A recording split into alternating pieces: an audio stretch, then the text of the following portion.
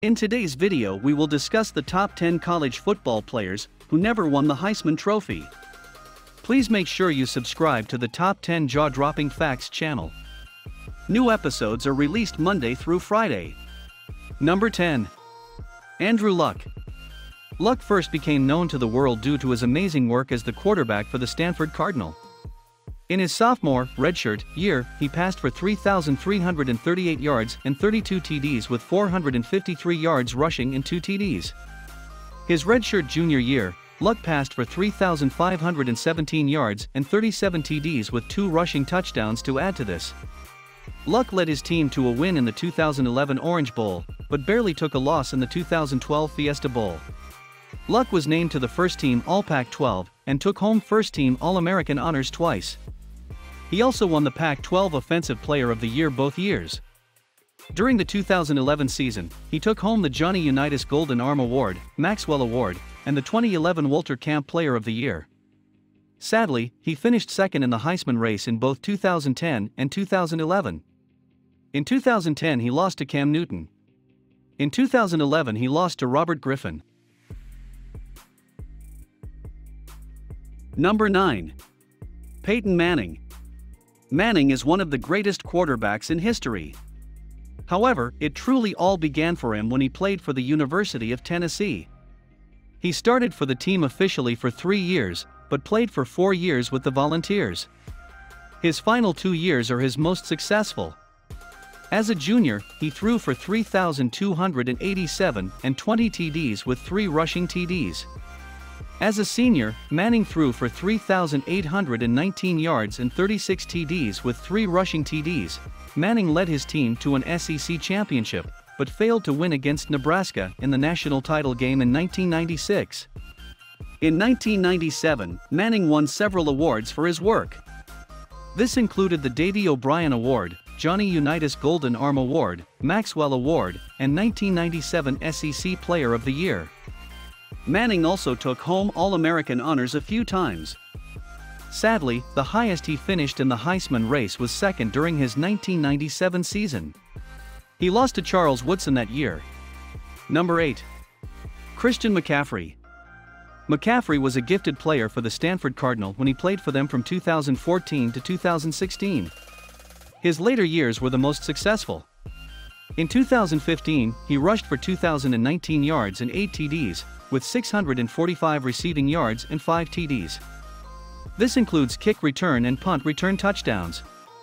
McCaffrey also had two passing touchdowns on the year. Stanford ultimately led the Pac 12 Conference Championship the same year.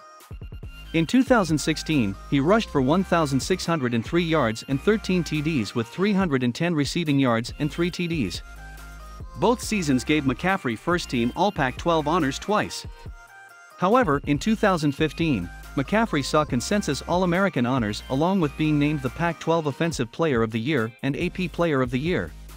He also took home the 2015 Johnny Rodgers Award, 2015 Paul Hornung Award, and 2015 Jet Award. Sadly, the highest McCaffrey finished in the Heisman race both years was second in 2015. He lost to Derrick Henry that year. Number 7. Adrian Peterson. Peterson is one of the greatest running backs in history, and it is quite clear that all of this started with his freshman year at the University of Oklahoma. During this year, Peterson rushed for 1,925 yards and 15 TDs. His dominance on the field led to one of the highest finishes for a true freshman in Heisman history with a second-place finish. He followed it up with a sophomore year where he rushed for 1,104 yards and 14 TDs through an injury-plagued season. His junior year, Peterson rushed for 1,012 yards and 12 TDs, adding a receiving TD on top of it. Yet again doing so through injuries. Adrian would be named a unanimous All-American in 2004, but was named first team All-Big 12 all three years he was at Oklahoma. Many believe Peterson deserved the 2004 Heisman, sadly, it was not to be.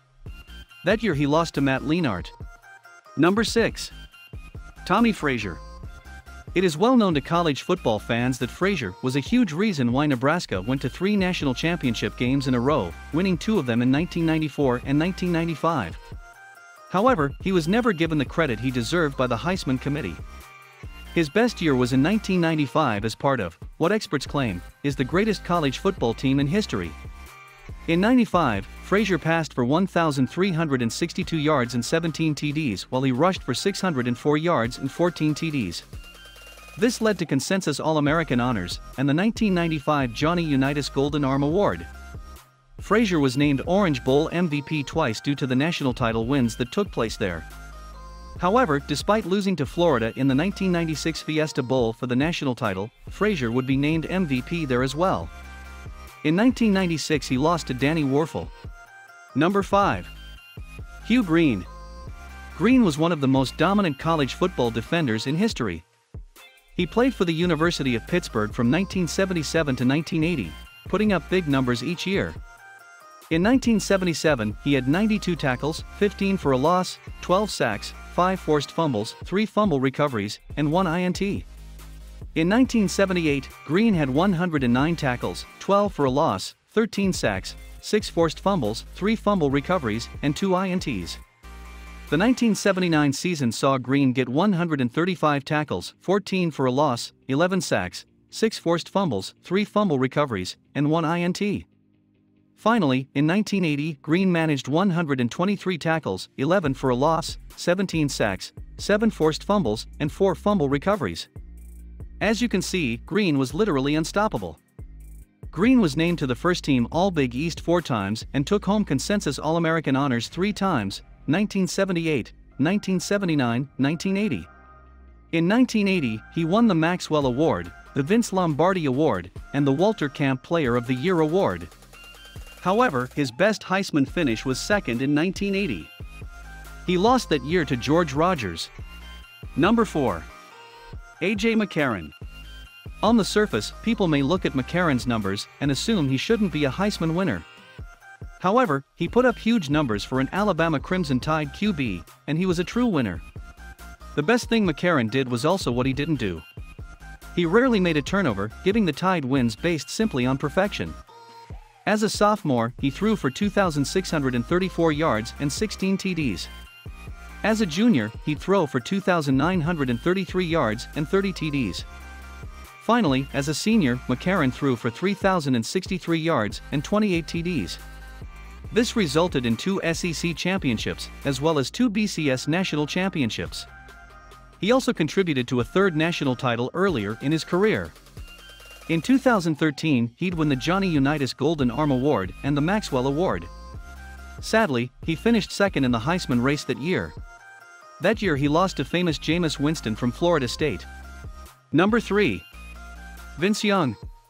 The architect for one of the greatest national championship wins in history, the Texas Longhorns great known as Vince Young really deserved more respect. Young had two great years at Texas, 2004 and 2005. In 2004, he passed for 1,849 yards and 12 TDs with 1,079 yards and 14 TDs. In 2005, Young would destroy everything. He passed for 3,036 yards and 26 TDs with 1,050 rushing yards and 12 TDs. This 2005 season led to Young winning the Big 12 Offensive Player of the Year, Davey O'Brien Award, Manning Award, Maxwell Award, and he was consensus All-American. Sadly, he lost the Heisman race to Reggie Bush in 2005. This led to a Rose Bowl game with USC in Texas where the Trojans had two Heisman winners on offense. Young and the Longhorns would defeat them to become the 2005 BCS national champions.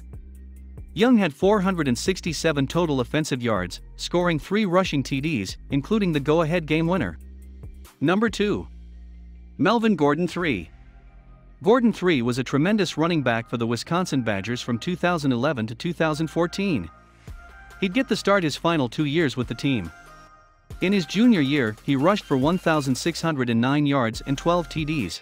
Gordon then exploded his senior year, rushing for 2,587 yards and 29 TDs, along with 153 receiving yards and 3 TDs.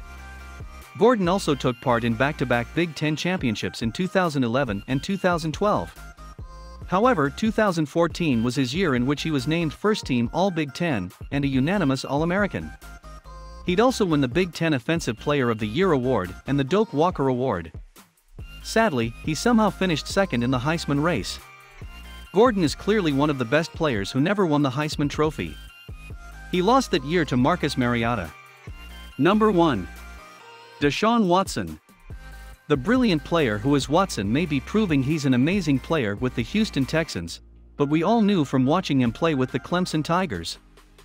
Watson played for Clemson from 2014 to 2016 however, he started all of 2015 and 2016.